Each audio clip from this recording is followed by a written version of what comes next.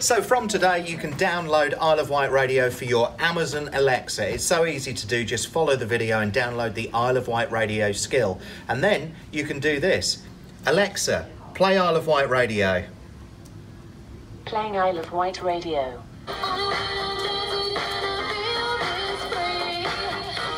Alexa, ask Isle of Wight Radio what song is playing.